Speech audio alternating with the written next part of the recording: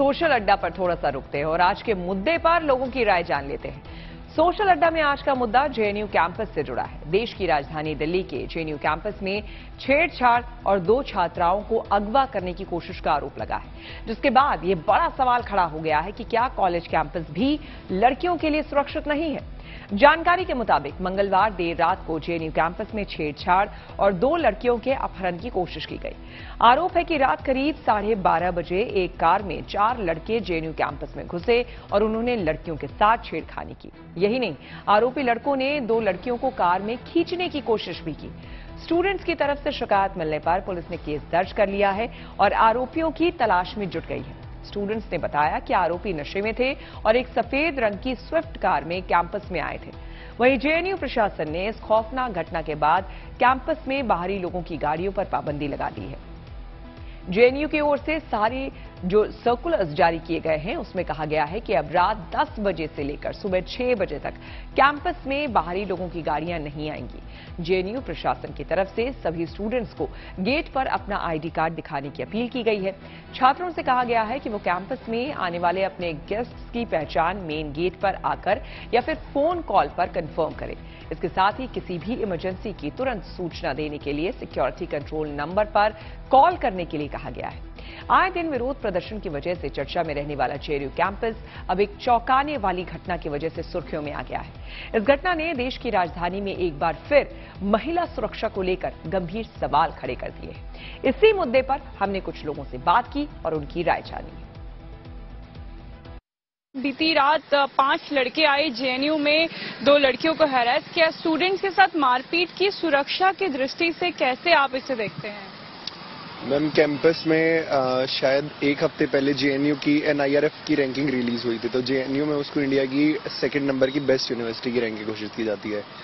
लेकिन जो इंसिडेंट परसों हुआ है उससे आपको एक तो यूनिवर्सिटी का जो सिक्योरिटी लैब्स है आप उसके बारे में देख सकते हैं कि कोई भी स्टूडेंट गेट खुला रहता है कोई भी स्टूडेंट अंदर आ जाता है चला जाता है बिना एंट्री के।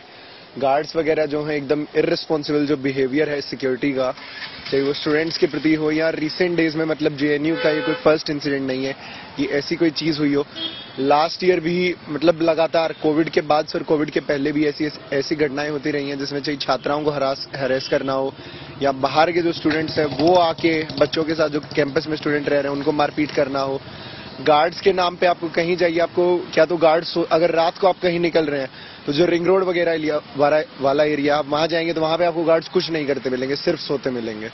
स्कूल एरियाज़ जो है, वहाँ अगर कोई छात्रा या छात्र रात को लाइब्रेरी जैसे जेएनयू की जो लाइब्रेरी है, वो 24 घंटे सातों दिन खुली रहती है।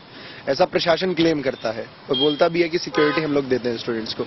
लेकिन वहाँ को रात को अगर कोई छात्रा दो या तीन बजे आ रही है पढ़ के तो वो अपने आप को सेफ़ महसूस नहीं कर सकती है। क्योंकि जो वो रास्ता है वहाँ पे एक भी सिक्योरिटी गार्ड नहीं खड़ा रहता है।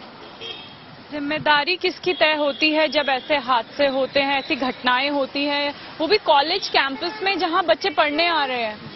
देखिए साफ़ तौर से इसकी पूरी ज़िम्मेदारी हमारे वाइस चांसलर की है। बगल में आईआईटी का कैंपस है वहाँ पे इलेक्ट्रॉनिक वेरिफिकेशन होता है जो भी लोग आते हैं। यहाँ पे आज भी पेन और पेपर से काम चल रहा है।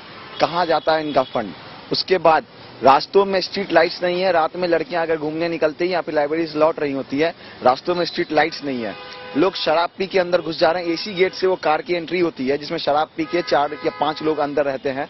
तो गार्ड्स को क्या इस बात की भनक तक नहीं लगती है कि लोग शराब पी के अंदर आ रहे हैं? और वो भी बाहरी लोग हैं। वो कार की एंट्री होती है, बाकायदा नंबर लिखाता है। वहाँ पे गार्ड्स खिड़की खोल के चेक करते हैं। क्या खिड़की खोल के चेक करने पर उनको ये नहीं पता चलता है, इनकी भनक नहीं लगती है? के अंदर लोग शराब पी के बैठे हुए हैं। जब मैं 2019 में कैंपस में आई थी तो मैंने ये सुना था कि जेएनयू सेफेस्ट प्लेस है गर्ल्स के लिए वुमेन्स के लिए।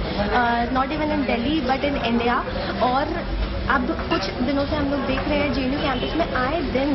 लड़के बाहर से आ रहे हैं। लास्ट टाइम अभी चार दिन पहले भी कुछ लड़के आए ड्रंक और लड़कियों को छेड़ के चले गए। तो ऐसी बहुत सारी घटना कैंपस में कुछ महीनों से हो रही है और we demand the safety of girls in jail पहले कैसी कई घटनाएँ हुई है जिसमें प्रोफेसर के घर पे चोरी हुई है और दो तीन ऐसी छेड़खानी घटनाएँ पहले हो सकती है, लेकिन इसके लिए जो रिस्पॉन्सिबल अथॉरिटी है, चाहे वो जेएनयू का रजिस्ट्रार हो चीफ सिक्योरिटी ऑफिसर हो, या साइक्लोप्स एजेंसी के ऊपर जेएनयू की सिक्योरिटी टेंडर है कोई भी इसकी रिस्पॉन्सिबिलिटी लेने को तैयार नहीं है।